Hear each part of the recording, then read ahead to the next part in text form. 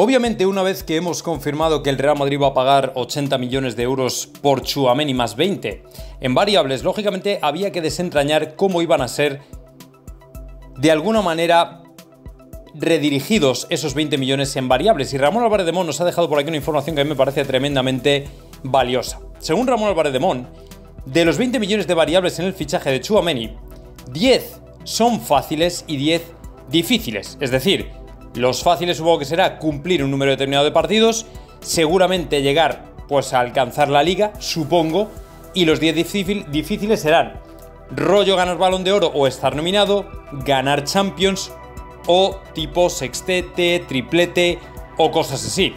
Así que muy probablemente el Real Madrid, si al final termina pagando los 100 millones, dejadme que os diga que muy probablemente, muy probablemente será por una buena causa. Evidentemente el Madrid sabe cómo repartir estos premios y creo que en el contrato de cada jugador están bien estipulados y además están bien repartidos y con cierto criterio. ¿Para qué nos vamos a engañar? Al final tampoco estás regalando nada. Si al final pagas ese precio es porque realmente los jugadores te van a devolver algo. Por ejemplo, si ganas la Champions, daos cuenta de que hemos ganado 135 millones este año en premios.